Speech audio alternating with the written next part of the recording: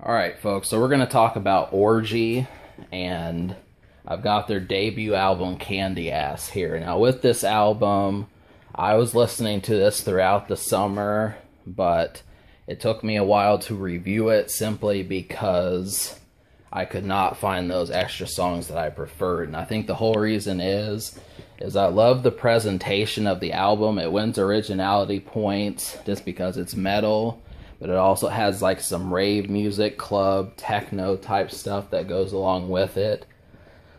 So it's really kind of like electronic metal, and that's, you know, in 1998, that was really good. The only other person was really Rob Zombie. You know, those type cats, people similar to him. But unfortunately, this album just did not really get lifted off the ground because most of the songs on this project just don't compare one they did a cover of a song called Blue Monday, and that's pretty much their biggest song. Now, if you look past that, they actually they had a second single, and that was the song Stitches. And to me, Stitches completely blows Blue Monday out of the water. Both of these are raving music for you, but Stitches was the song they did on their own, and it is pretty maniacal. I mean, it has a beautiful hook. It's catchy. Does a lot of things right, but unfortunately, there's just not any other song like it. I mean, to me, I could not figure out why the other 10 songs on the album, besides the singles, did not have anything of note. At least in terms of having a chorus as good as that Stitches song, there just isn't anything there are other good songs besides the radio songs, but it's just it's kind of it's just a real lightweight presentation. So with this, I was kind of looking for a third single, trying to see what it is, but listening to the album, it really doesn't appear that there is. And I looked at I go to different mediums to try to find the other popular songs like iTunes and Amazon and Spotify to see what exactly the songs that were hot were. It's just it's virtually non-existent and it does stand for reason. I tried I gave this album a good while to kind of win me over, but it just hasn't done it. So the the production is handled well. Like I was saying, this is a real electronic slash metal album the blend of it is really well put together and it's a great feeling. You know, once you realize how fun some of this is, you, there's really no looking back. But the problem with it is, is the, the songs are just not memorable and they're, they're not iconic. So you can't get anyone else. It's just tougher to, you know, figure out, well, where are the jaw droppers? Where are the songs that they're going to be remembered for? Luckily, because this is a review, I took the liberty of doing it, trying to find some songs besides the singles that were worthwhile, but there's just not a ton. So the songs are, besides Blue Monday and Stitches, they are Dissension, Revival, and All the Same.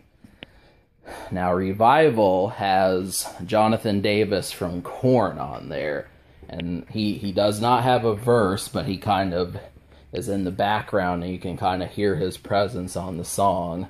That one was pretty good. I wish the the hook would have been a little bit more riveting, but it's still probably third or fourth best song on the project.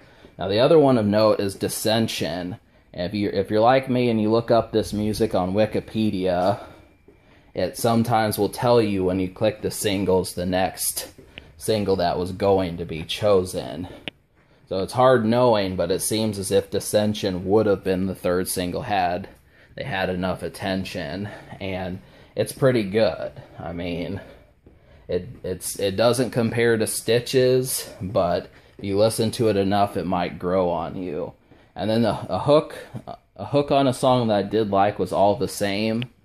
So that was one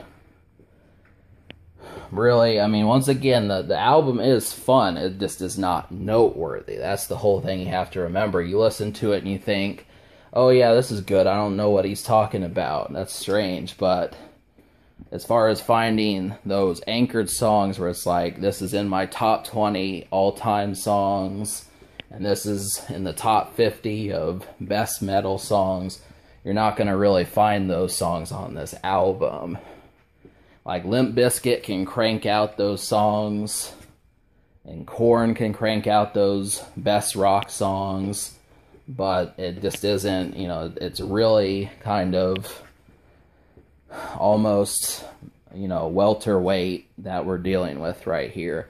So this album, because I like 5 out of 12, is going to get a 4, a 4 out of 10. And I, I love the fact of the feel of this. Like, I love Stitches and Blue Monday, but it just did not win me over much besides that. So, the social score is going to get a 2.5 out of 10 because really the promotion, the size of the singles was good, but it's pretty forgettable because these guys aren't really around today. So, and once again, that just means how well Orgy is going to work with your friends if you were to listen to their music with them. So, alright. Um, can this album be topped? I think the answer is yes, it can. In the future, Orgy came back with an EP, but I don't know if they'll be able to top this project. That's the whole thing. This was their largest album in terms of mainstream appeal. But alright, subscribe for more fun. Four four out of ten, two and a half social.